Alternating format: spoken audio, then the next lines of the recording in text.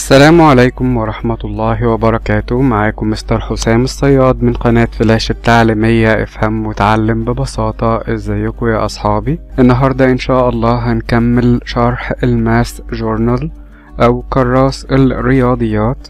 في منهج Discover اكتشف Primary 1 الصف الأول الابتدائي. وكنا أنهينا الدرس اللي فات شرح Lesson 70 أو آه، درس رقم 70 وده كان نهاية شابتر 1 أو الفصل الأول.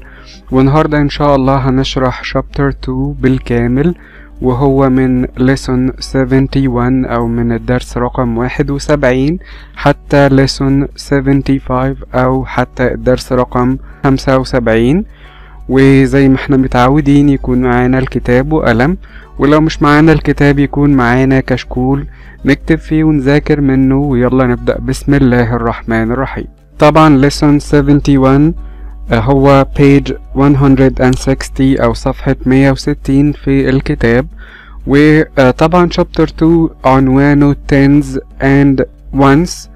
Tens يعني العشرات وونس اللي هي الآحاد اللي إحنا كنا بنقول عليها units. وهنا بنتكلم آه، على ال place value أو القيمة المكانية للرقم. لسه بنكمل شرح فيها.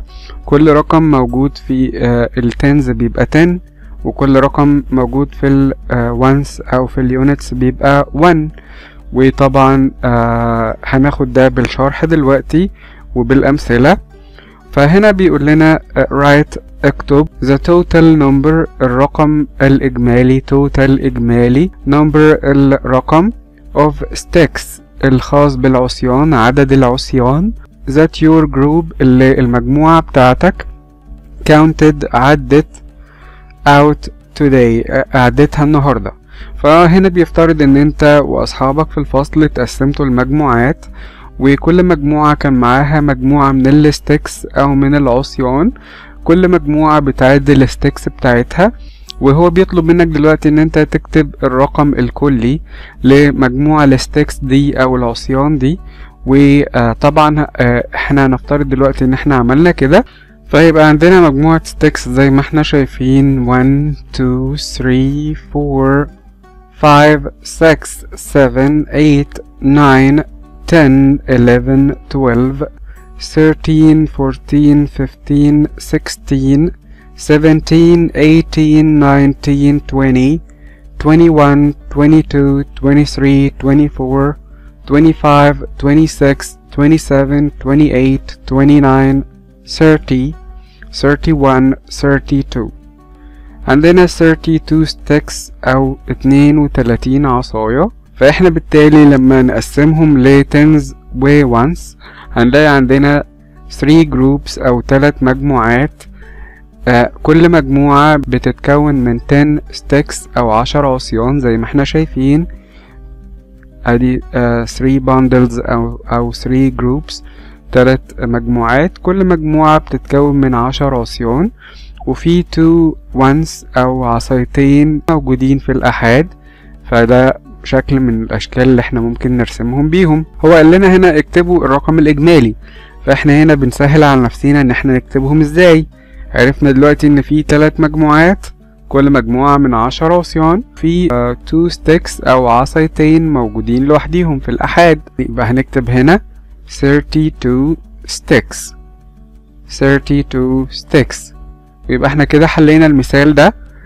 مع الافتراض طبعا إن إحنا عدينا ال sticks بتاعتنا وإحنا في ال classroom مع ال group بتاعنا اللي إحنا كنا متقسمين معاه فطلع ال sticks اللي إحنا عديناها 32 طب لو افترضنا إن إحنا كان معانا مجموعة تانية من ال sticks أو رقم تاني تعالوا ناخد ده بأمثلة تانية. هنا عندنا مثلا مجموعة من ال tens ومجموعة من ال ones فهنا عايزين نعد ونكتب في الآخر الرقم الإجمالي أو ال total number تقدروا تعدوا معايا وتساعدوني يا أصحابي. أدي 10 وأدي 10 وأدي 10 يبقى هنا عندنا كام 10 هنكتب هنا كام يا أصحابي؟ شاطرين هنكتب هنا 3 tens. 3 tens. طب هنا عندنا كام في الوانس 1 2 3 4 5 6 يبقى نكتب هنا في الوانس 6 ones. يبقى هنا عندنا 3 tens وفي 6 ones. يبقى هنكتب ال number الإجمالي أو ال total number هنا. The number is 36 شاطرين. 36 ال 3 tens جت في الخانة بتاعة ال tens أو العشرات وال 6 بتاعة ال ones جت هنا في خانة الأحاد أو في ال ones بقت 36 طب هنا في مجموعة تانية من التنز ونعدهم مع بعض. 1 2 3 4 5 هنا في 5 tens. طب في هنا أي ones لا هما 5 tens بس. يبقى هنكتب هنا في التنز 5 والونس هنحط 0 يبقى هنا عندنا 5 tens only. 50 بس خمس عشرات. يبقى النمبر هيكون إيه the number is 5 وجنبها 0 يبقى اسمها 50 50 يعني 50 وبكده نكون خدنا أمثلة تانية على إن إحنا ممكن يكون معانا مجموعة حاجات علشان نقدر نعدها بطريقة أسهل. بنقسمها لمجموعة عشرات أو تنز كل مجموعة بتتكون من عشر حاجات مع بعض. واللي بيتبقى ما بيكملش عشر حاجات أو بيكمل مجموعة بتتكون من عشر حاجات مع بعض بنعتبره في ال ones أو في خانة الأحاد. فلما نيجي في الآخر نعد بنعد ال tens لوحدها ونكتبها في خانة ال tens. وبعدين نشوف ال ones أو الأحاد فيها كام ونكتبها في خانة ال ones. وبالتالي يكون العد أسهل بالنسبة لنا والرقم اللي إحنا بنكتبه في الآخر يكون سليم مية في المية. ونتنقل لليسون 72 أو درس رقم 72 خليكم معايا. وطبعا page 161 أو صفحة 161 وده lesson 72 أو درس رقم 72 ولسه بنكمل الكلام عن القيمة المكانية للأرقام. كل رقم قيمته بتتحدد على أساس مكانه. فهنا بيقول لنا draw ارسم 3 circles تلات دواير as shown on the board. كما هو موضح على السبورة.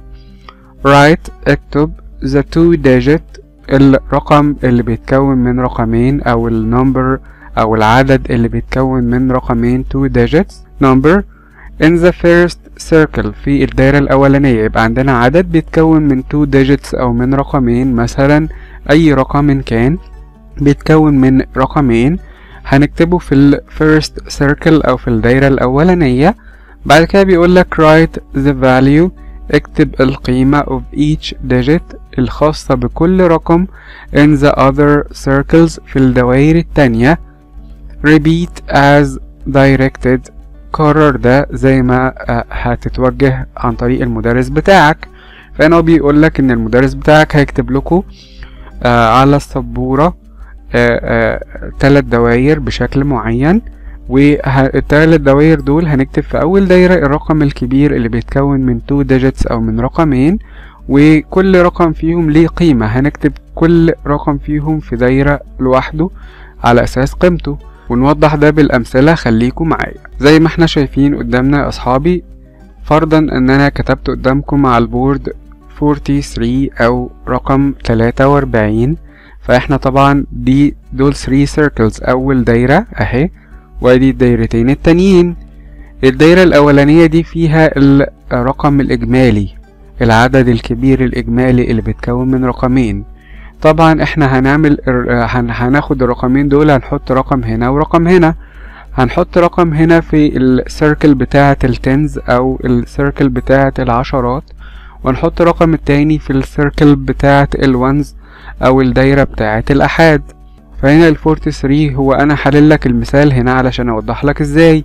ال four هنا طبعا في الخانة بتاعة ال tens فنحطها في ال circle بتاعة ال tens فهنا مكتوب tens وتحت منها رقم four طب ال three مكتوبة في الخانة بتاعة ال ones فهنكتبها هنا في ال circle بتاعة ال ones وهنكتب تحت ones هنا رقم 3 فهنا equal 40 40 وهنا equal 3 فهنا 43 بتتكون من 4 tens و 3 ones.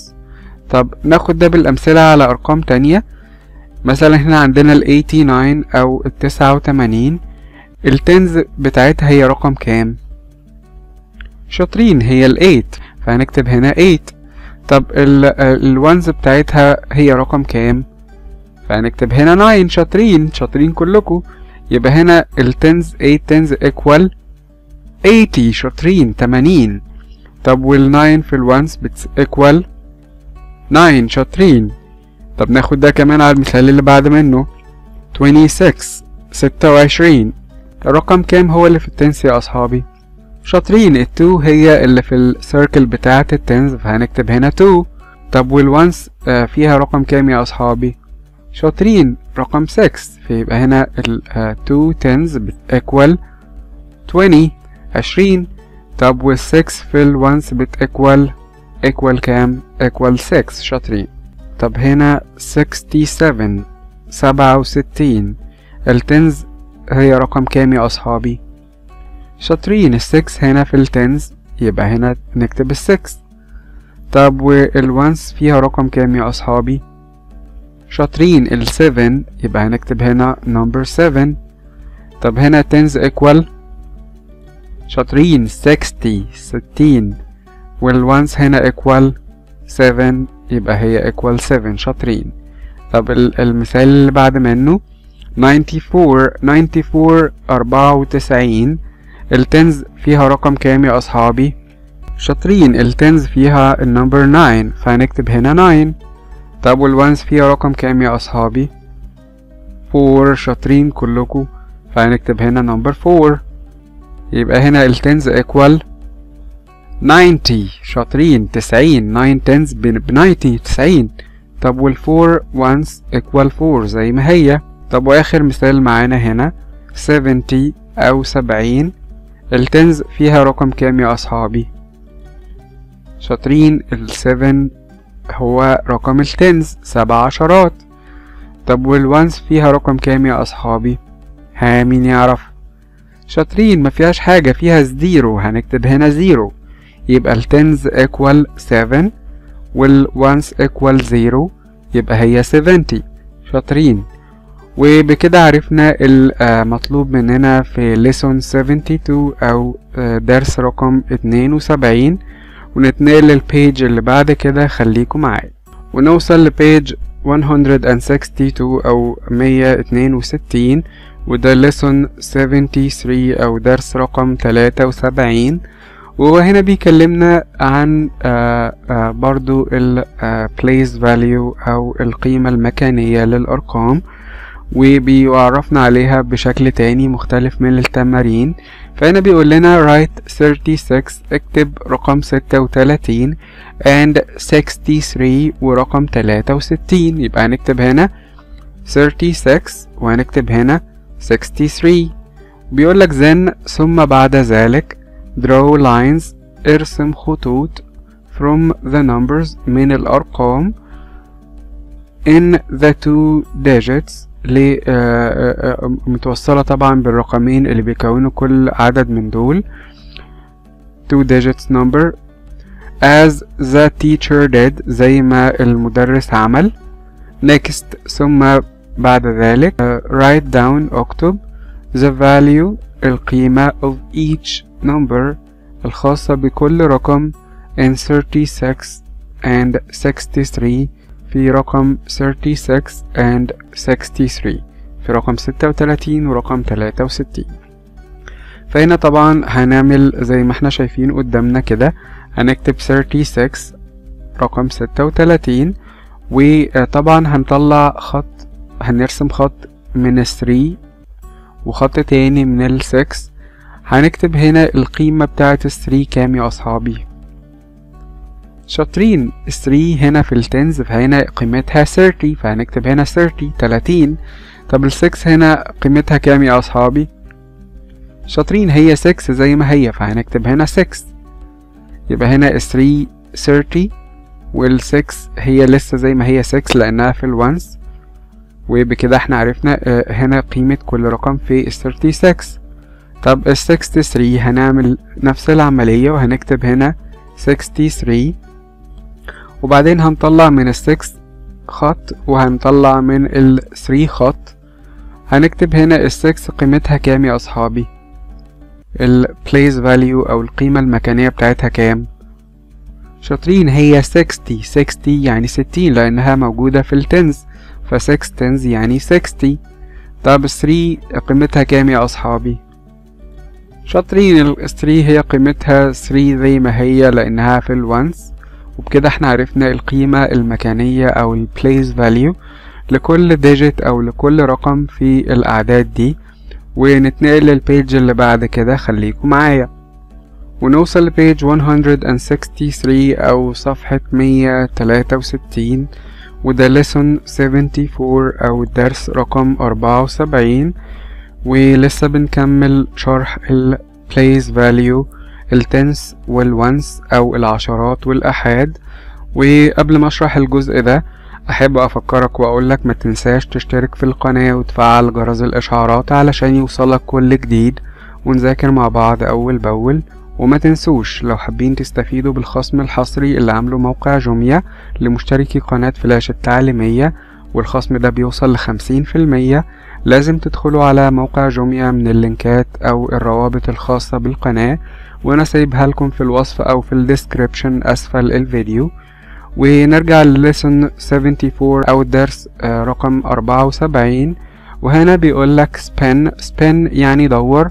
The spinner the spinner اللي هو الدبور. ال spinner الدبور اللي إحنا عارفينه اللي هو بيلف على الأرض ده في ناس بتسميه النحلة. فبيقولك spin the spinner دور الدبور. Write the numbers. اكتب الأرقام. It lands on below.